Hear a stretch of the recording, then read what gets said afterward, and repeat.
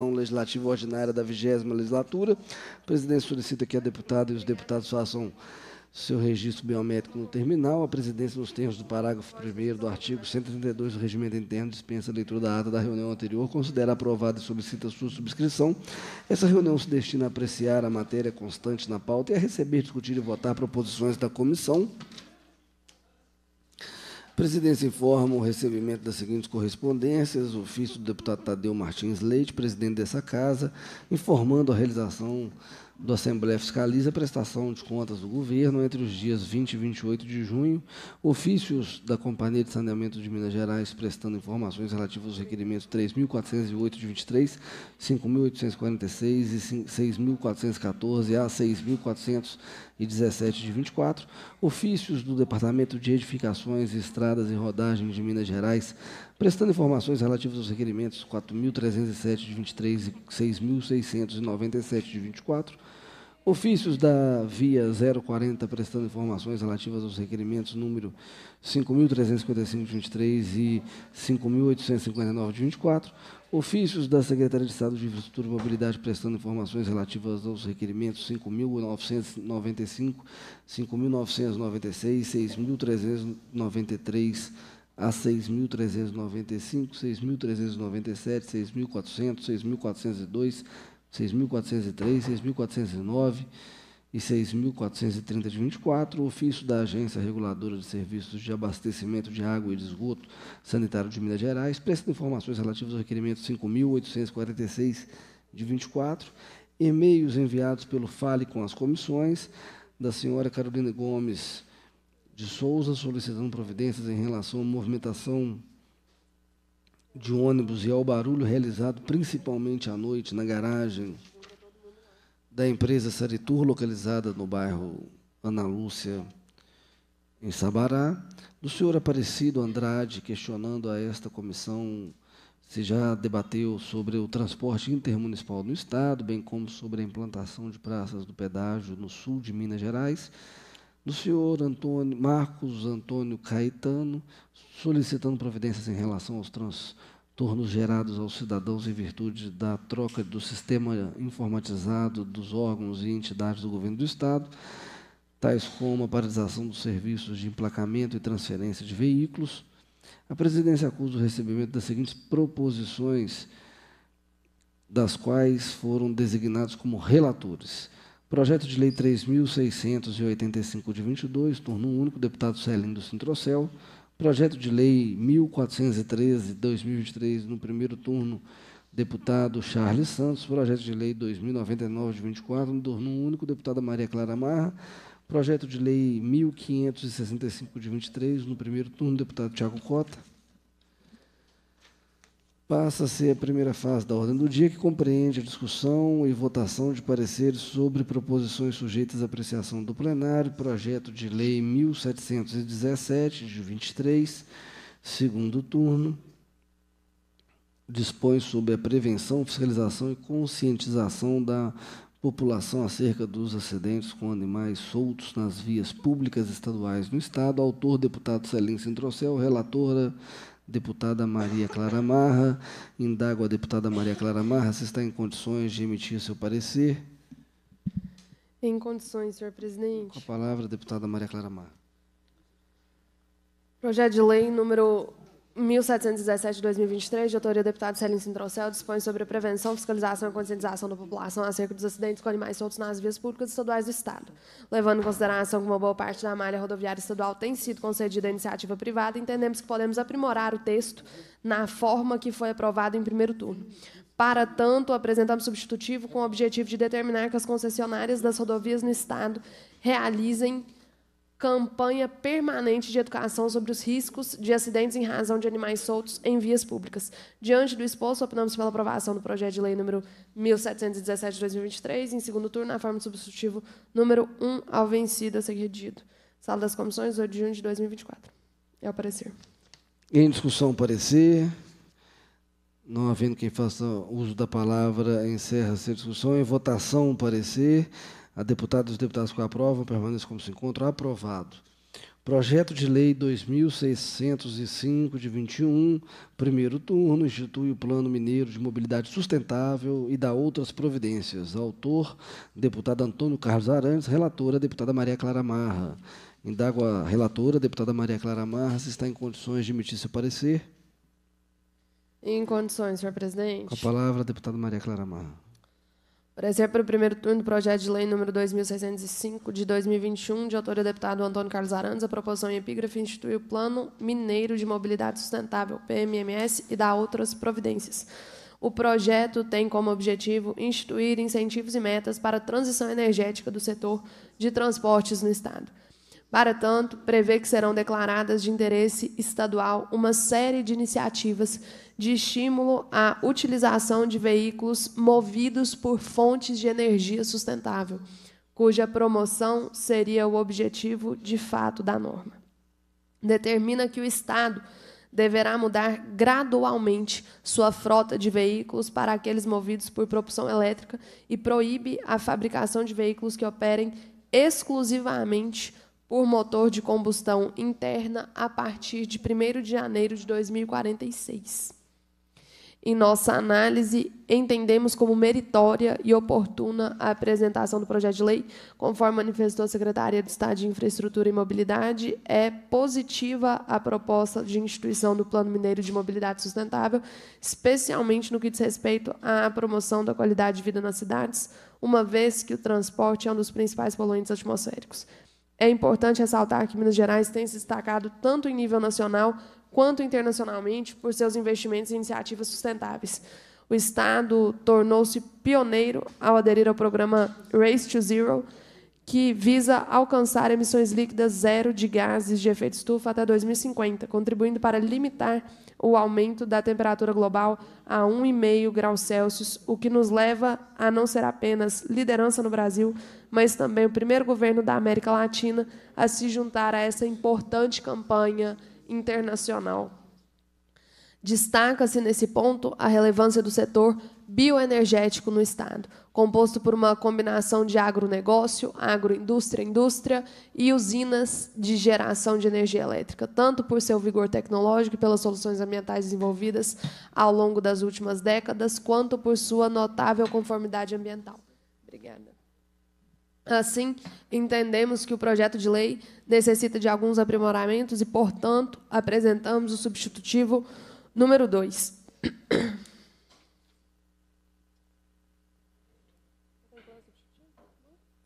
É o parecer, senhor presidente. Em discussão, parecer, não havendo quem faça uso da palavra nesse momento, encerra essa discussão. Em votação, parecer, a deputados e deputadas que o aprovam permaneçam como se encontram. Aprovado. Projeto de Lei 1056, de 23, primeiro turno, dispõe sobre a desafetação do trecho da rodovia que especifica e autoriza o Poder Executivo a doar a área correspondente ao município de Divinolândia de Minas. Autor, deputado Gustavo Valadares. Relatora, deputada Maria Clara Marra. Indago a deputada Maria Clara Marra Sim, se está em condições de emitir o parecer. Com a palavra, a deputada Maria Clara Marra. De autoria, deputado Gustavo Valadares. A proposição em comento determina a desafetação dos trechos da rodovia MGC 259, compreendidos entre o KM 264.01 e o 267, entre o KM 269 e o 270, e autoriza o Poder Executivo a doar ao município de Divinolândia de Minas a área correspondente a esses trechos rodoviários, que será destinada à expansão urbana. O texto em análise contém uma incorreção, que é a destinação futura de imóvel nele expressa expansão urbana. Trechos de rodovias doados a municípios devem permanecer como via pública. Assim, proporemos a seguir um texto substitutivo para solucionar essa questão. Diante do exposto, optamos pela aprovação do projeto de lei número 1056 de 2023, no primeiro turno, na forma substitutiva número 2. É o parecer, senhor presidente. Em discussão, parecer. Não havendo quem faça uso da palavra, se encerra essa discussão. Em votação, parecer. Os a deputados e os deputados com a própria se contra. Aprovado, parecer. Projeto de Lei 1292, de 23, primeiro turno, dispõe sobre a desafetação do trecho da rodovia que especifica e autoriza o Poder Executivo a doar ao município de São João Batista do Glória a área correspondente. Autor, deputado Cássio Soares, relator, deputado Tiago Cota. A presidência avoca para si a relatoria da matéria e passa a emitir o parecer. De autoria do deputado Cássio Soares, o projeto de lei EPIGF dispõe sobre a desafetação do trecho da rodovia que especifica a autoria do Poder Executivo do Alo ao município de São João Batista da Glória. É, a Comissão de Constituição e Justiça concluiu pela juridicidade, constitucionalidade e legalidade da proposição na forma do substitutivo número 1, que apresentou. Vem agora o projeto a esse órgão colegiado para dele receber parecer quanto ao mérito nos termos do artigo 188, combinado com o artigo 102, inciso 12 do regimento interno. A proposta em comento determina a desafetação da rodovia MGC 146, compreendida entre o quilômetro 347 o quilômetro 350.2 e autoriza o Poder Executivo a doar ao município São João Batista da Glória a área correspondente a esse trecho rodoviário, destinando à instalação da via urbana. Também apresenta cláusula de reversão da área ao patrimônio do Estado, caso a destinação prevista para o trecho não se efetive ao término do prazo de cinco anos contados da publicação da lei. De posse dessas informações e na sua competência regimental, a Comissão de Constituição e Justiça concluiu pela é, entre outras ponderações, que a transferência do citado trecho ao município não implica alteração em sua natureza jurídica, bem como de uso comum do povo, mas tão somente na sua titularidade, pois ele passa a integrar o patrimônio municipal. Contudo, elaborou o substitutivo número 1 um, com o fim de adequar a proposição à técnica legislativa. De nossa parte, lembramos que o projeto em análise é autorizativo e lega a discricionalidade do Poder Executivo fazer tal doação. Se efetivada, o trecho passará para a jurisdição municipal e será inserido em seu perímetro urbano. Assim, do ponto de vista da política pública estadual de transporte, não vemos óbices para que a matéria prospere, uma vez que o trecho rodoviário continua como via de passagem pública e terá sua manutenção e operação custeadas pelo Poder Executivo Municipal. Diante do exposto, opinamos pela aprovação do projeto de lei 1292 de 23 no primeiro turno, na forma substitutiva número 1 da Constituição da Comissão de Constituição e Justiça. Em discussão, parecer. Não havendo quem faça uso da palavra neste momento, encerra essa discussão. Em votação, parecer. A deputados e deputados com a própria, como se encontra, aprovado.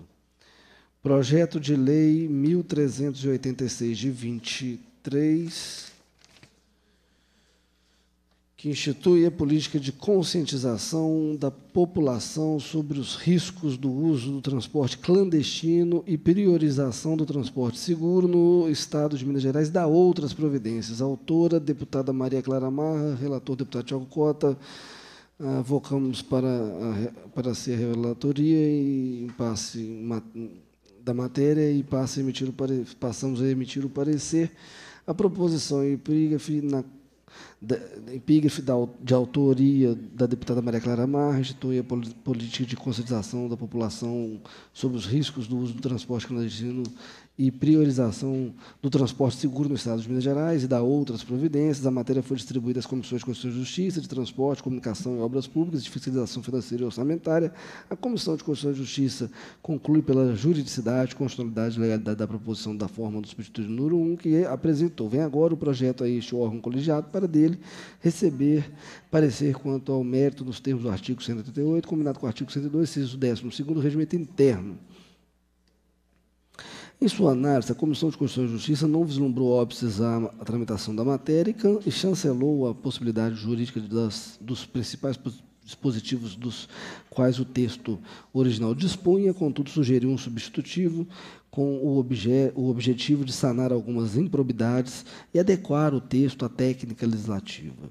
De nossa parte, corroboramos com a preocupação da deputada autora quanto aos riscos da oferta e do uso do transporte não regulamentado, que acabam de trazer consequências à vida pessoal dos cidadãos em caso de sinistros durante o seu transporte, e também ao Estado, por gerar ônus financeiros e operacionais à prestação de serviços públicos de transporte. Assim, buscar conscientizar os potenciais usuários desses serviços sobre tais riscos, nos parece coadunar com a boa e eficaz ação estatal esperada.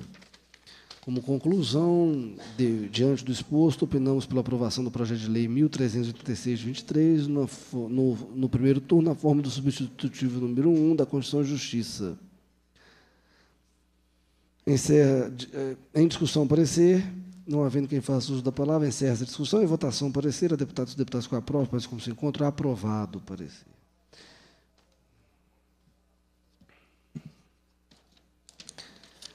Passa-se a segunda fase da ordem do dia, que compreende a discussão, votação de proposições que dispensam a apreciação do plenário, projeto de lei 1803 de 23, em torno único, de autoria da deputada Lohana, que declara de utilidade pública a Associação Cultural e Comunitária de Itatiaio Sul, Rádio Alfa FM, com sede no município de Itatiaio Sul, na qualidade de relator da matéria, opino pela aprovação do projeto na forma original.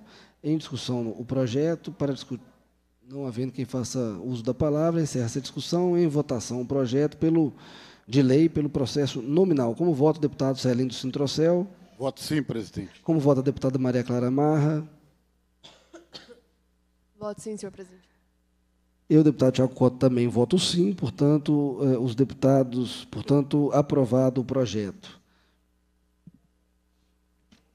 Projeto de Lei 2099 de 24, em turno único, de autoria do deputado Antônio Carlos Arantes, que dá denominação ao trecho da rodovia localizada entre o município de Curvilho e município de Cordisburgo. A relatora da matéria, a deputada Maria Clara Amarro, opina pela aprovação do projeto na forma do substitutivo número 1, na Comissão de Constituição e Justiça. Em discussão, não havendo quem faça uso da palavra, encerra essa discussão. Em, vo em votação, substitutivo número 1, pelo processo nominal uh, os deputados, uh, cada um por sua vez, respondam sim, não ou em branco, conforme queiram votar a favor, contra ou em branco. Como voto o deputado Sereno Centrocel. Voto sim, presidente. Como voto o deputado Maria Clara Barra. Voto sim, senhor presidente. Eu, eu deputado Tiago Cotto, voto sim. Aprovado o substitutivo número 1 e prejudicado o projeto original.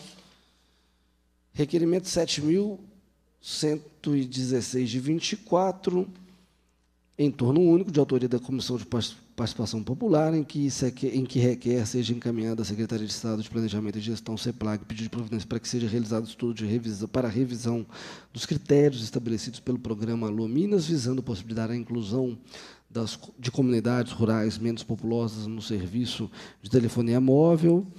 Em votação, requerimento. Eh, a deputada e os deputados com a própria, como se encontram, aprovado o requerimento. Sobre a mesa, parecer de redação final.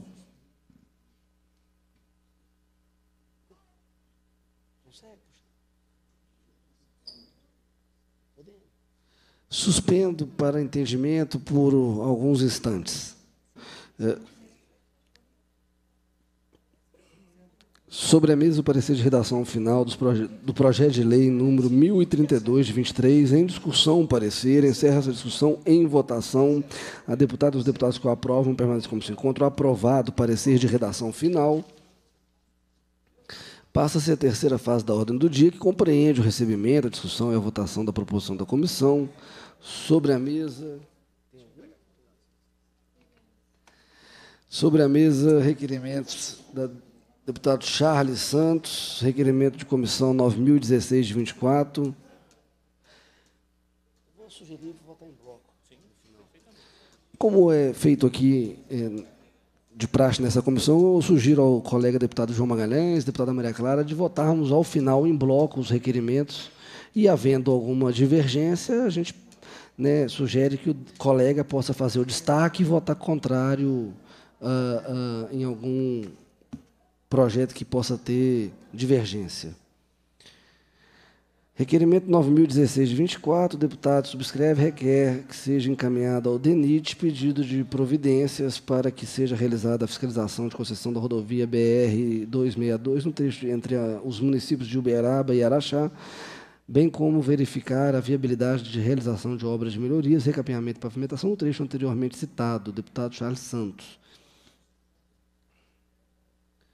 Requerimento 9051 de 24, a deputada subscreve e requer seja encaminhado ao diretor eh, do Departamento de Edificações e Rodagem de Minas Gerais e ao secretário de Estado de Infraestrutura e Mobilidade pedido de informações sobre as concessionárias responsáveis pelo pedágios LMG 798, no KM 6.8, Nova Ponte, MG 190, KM 75.5, Nova Ponte, MGC 462, KM 34.15, patrocínio. Esclarecendo a quais foram os critérios utilizados para determinar as tarefas as tarifas de pedágio nas rodovias acima mencionadas. B, como a concessionária garante a transparência e a prestação de contas em relação à utilização dos recursos arrecadados com os pedágios. C, se existe algum programa de manutenção e melhorias nas estradas financiado pelos pedágios.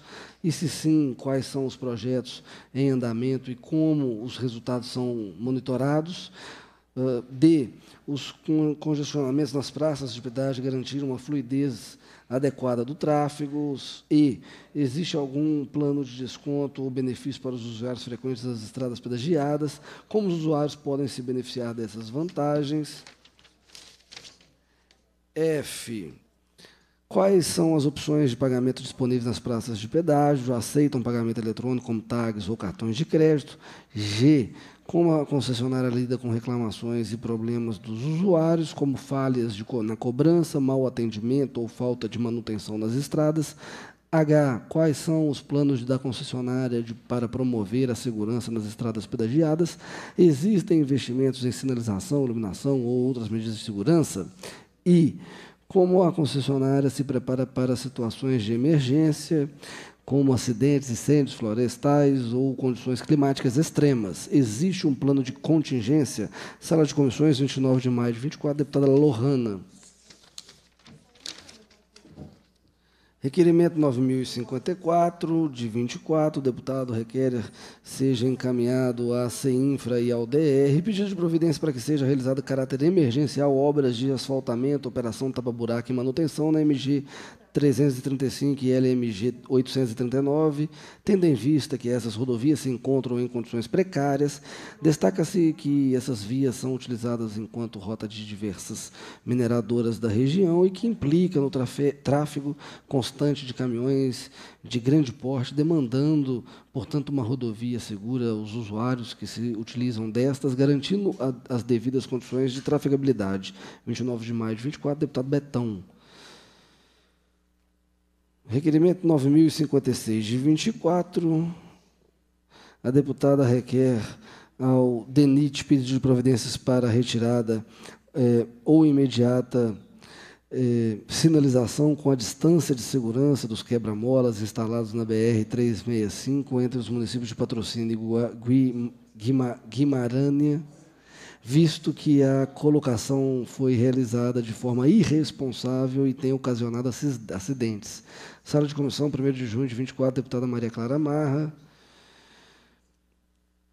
Requerimento 9.104, a deputada requer seja encaminhada ao DR, pedido de providência para que sejam adotadas medidas urgentes para solucionar os problemas de infraestrutura da rodovia que liga os Prados a Dores do Campo e também a que liga Dores, do, Dores a Barroso. Propomos a realização de obras de recapeamento e reparo dos trechos danificados, bem como a implementação de um plano eficaz e regular de manutenção preventiva. Entendemos que tais melhorias demandam investimentos significativos, porém ressaltamos que são indispensáveis para garantir a segurança e a mobilidade de todos os usuários das vias.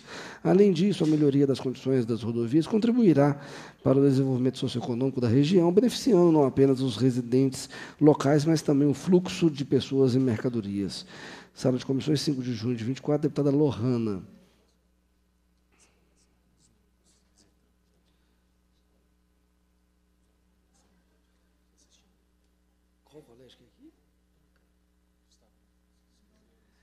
Registrar a presença dos alunos do segundo ano do ensino médio, Colégio Dona Clara, aqui destacando o professor Bruno, a professora Fernanda, é muito bom tê-los aqui na Casa do Povo, no Parlamento de Minas. E eu espero que vocês, para além de sonharem ser jogador de futebol, bailarina, jogador de vôlei, que vocês também possam ter um pouquinho de vontade de exercer a vida pública, porque nós precisamos de gente jovem querendo o melhor para o nosso Estado e para o nosso Brasil, nessa atividade tão sofrível, tão difícil, mas tão importante para o futuro da nossa nação. Parabéns. Requerimento de comissão 9.105 de 24. A deputada subscreve requer a Vossa Excelência, nos termos do artigo 103, parágrafo 3 alineado do regimento interno, seja encaminhado ao DR, pedido de providências para que sejam adotadas medidas urgentes para solucionar os problemas de infraestrutura da rodovia que liga São Gotardo a Tiros, Minas Gerais. Propomos a realização de obras de recapeamento e reparo dos trechos danificados, bem como a implementação de um plano eficaz e regular de manutenção preventiva, entendemos que tais melhorias demandam investimentos significativos, porém, ressaltamos que são indispensáveis para garantir a segurança e a mobilidade de todos os usuários das vias. Além disso, a melhoria das condições da rodovia contribuirá para o desenvolvimento socioeconômico da região, beneficiando não apenas os residentes locais, mas também o fluxo de pessoas e mercadorias. Sala de comissões, 5 de junho de 24, deputada Lohana. Destacar a presença do deputado Cássio Soares. Requerimento 9.107 de 24, o deputado que este subscreve requer a Vossa Excelência, nos termos do artigo 103, para a terceira linha do regimento interno, seja encaminhado ao Vivo Minas em Belo Horizonte e ao Vivo em São Paulo, Pedido de providência para a ampliação e melhoria de sinal de telefonia móvel na comunidade de São Tomé, município mineiro de Dom Silvério. A referida comunidade conta com aproximadamente 500 moradores, incluindo diversos produtores rurais que reclamam da frequente interrupção de sinais e diversos pontos de cobertura, dificultando a comunicação e acesso aos serviços essenciais. Sala de Comissões, 5 de junho de 2024, Celinho do Sintrocel.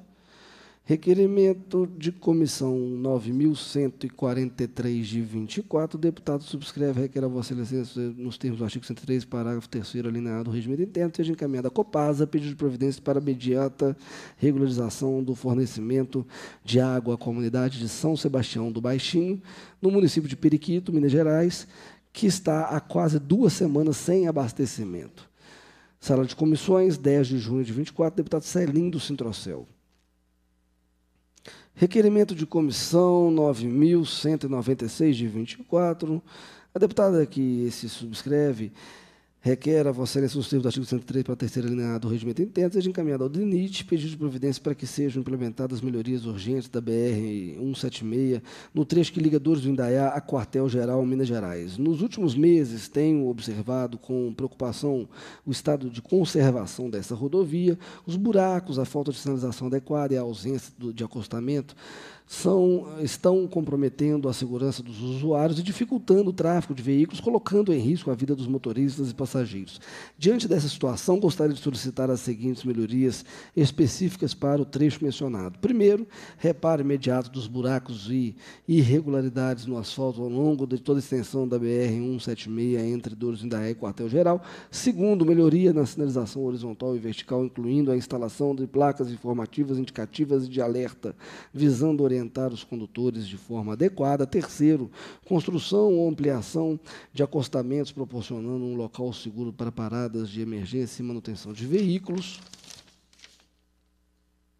Quarto, implementação de dispositivos de segurança como redutores de velocidade e barreiras de proteção nos pontos críticos identificados ao longo da rodovia. Quinto, programa de manutenção regular da via, com equipe permanente para garantir a conservação e segurança a longo prazo. Estas melhorias eh, são fundamentais para garantir a segurança dos usuários BR da BR 176, bem como para promover o desenvolvimento socioeconômico das regiões por ela atendidas, facilitando o transporte de pessoas, mercadorias e serviços entre os municípios. Sala de comissões, 12 de junho de 24, deputada Lohana.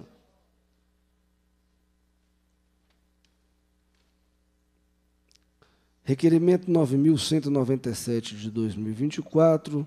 A deputada que subscreve requer a Vossa Excelência dos termos do artigo 103 para a terceira linha do regimento interno seja encaminhada ao DENIT, pedido de providência para que seja realizada recuperação da BR 352 entre Pitangui, Minas Gerais e Abaeté, Minas Gerais. Ao longo dos últimos meses, tenho notado o agravamento das condições dessa rodovia, o que tem impactado negativamente a segurança e a fluidez do tráfego na região.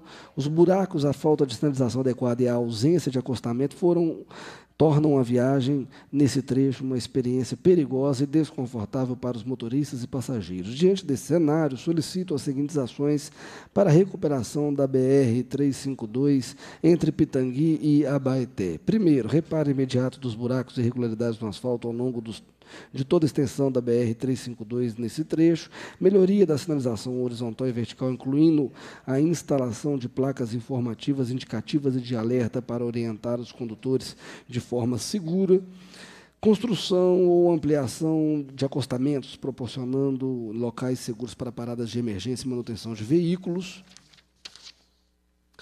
Implementação de dispositivos de segurança como redutores de velocidade e barreiras de proteção nos pontos críticos identificados ao longo da rodovia e programa de manutenção regular da via com equipe permanente para garantir a conservação e segurança a longo prazo. Essas medidas são essenciais para garantir a segurança dos usuários da BR-352 e para promover o desenvolvimento socioeconômico das regiões por ela atendidas, facilitando o transporte de pessoas, mercadorias e serviços isso entre os municípios de Pitangui e Abaeté. Sala de comissões, 12 de junho de 24, deputada Lohana.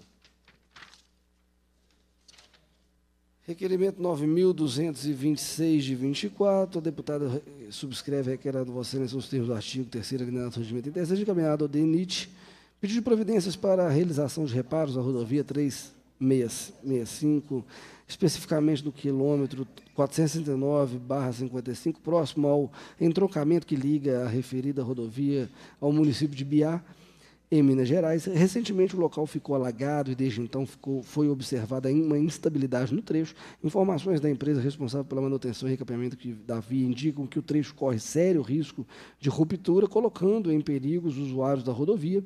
Diante da gravidade da situação, solicitamos a imediata inspeção e reparo deste trecho para evitar possíveis acidentes e garantir a segurança dos motoristas e passageiros. Sala de comissões, 14 de junho de 24, deputada Lude Falcão.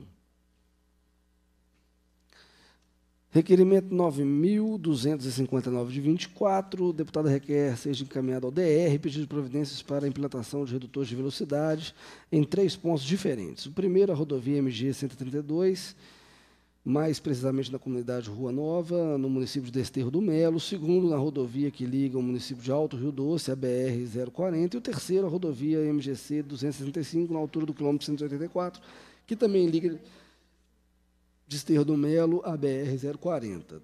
Sala de comissões, 18 de junho de 24, deputada Nayara Rocha.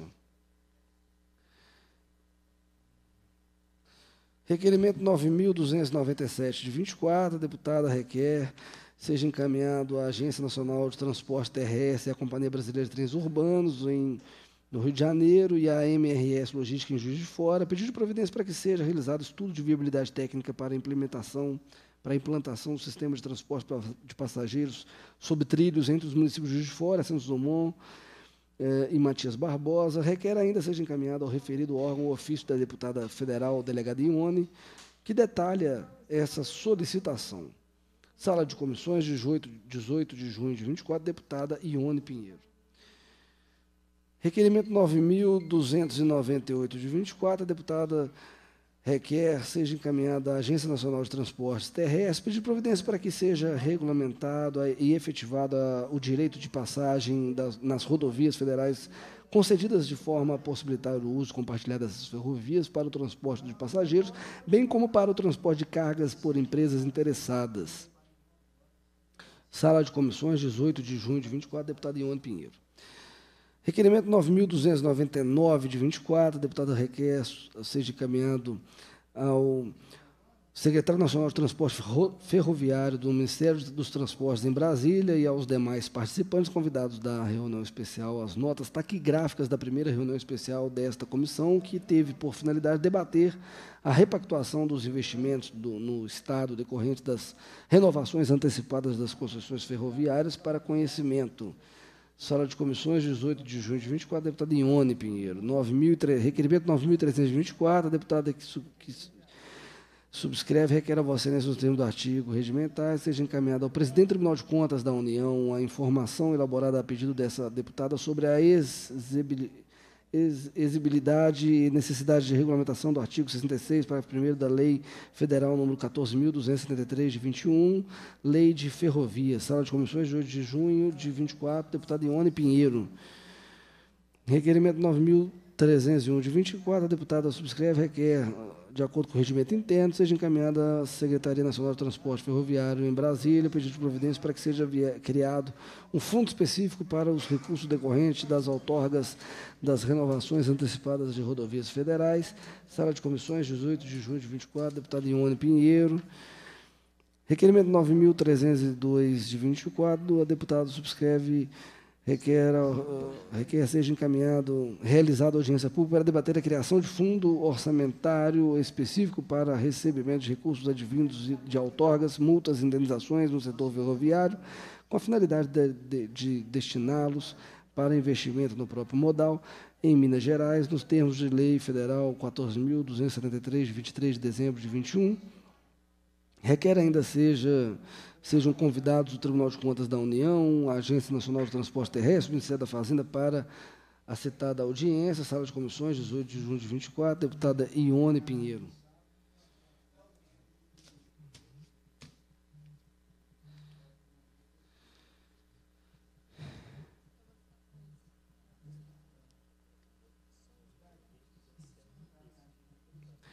Em votação os requerimentos, exceto o requerimento 9.226 de 24, a deputados e os deputados que o aprovam permaneçam como se encontram. Aprovado os requerimentos. E aí, aí eu ponho isso em votação. Espera aí.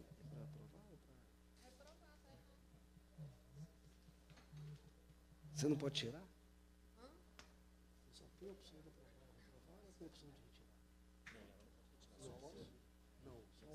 Eu já li, né?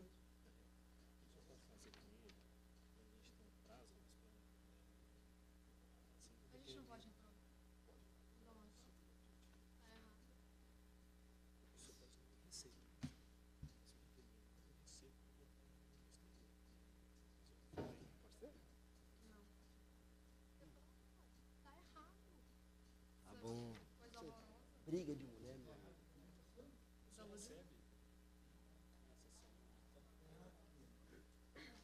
Ela errou o município, errou o rodovia e errou o caminho. Eu posso não votar, só receber. Eu não...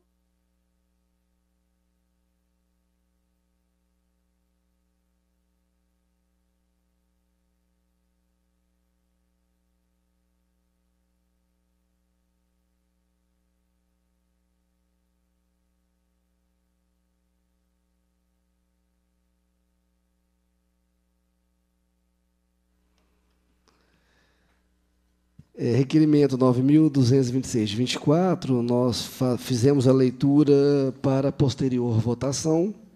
Pela ordem, senhor presidente. Pela ordem, deputada Maria Clara Marra. Esse requerimento contém um equívoco quanto ao apontamento do CAEM, diz respeito a uma rodovia que liga as cidades de Patos de Minas a Patrocínio e não Patos de Minas a Ibiá. Por esse motivo, eu, inclusive, apresentei um requerimento nesse sentido ao DENIT, já encaminhamos, inclusive, pedido de providências para o DENIT, que, inclusive, já fez a sinalização desse trecho que está cedendo em função de uma área de drenagem. Inclusive, a gente já tem a resposta do DENIT para essa comissão. Obrigada.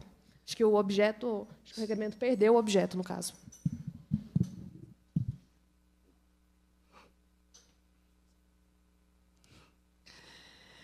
Portanto, deputada Maria Clara já fez os seus esclarecimentos. Eu acredito que o projeto se torna inócuo, perdeu o objeto, o requerimento da deputada, é, lido por, por, esta comissão, é, e já muito bem é, explicado pela deputada da região, deputada Maria Clara Marra, membra, membro efetivo dessa comissão, vice-presidente dessa comissão e que tem sempre o nosso apoio aqui para que a gente possa discutir as questões, sobretudo pertinentes da comissão é, é, em Minas Gerais, em especial no sul de Minas.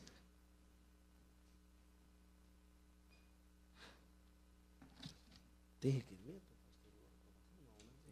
Não, né? Graças a Deus. Quer alguma coisa? O nosso, 18 30. Não, Já, já.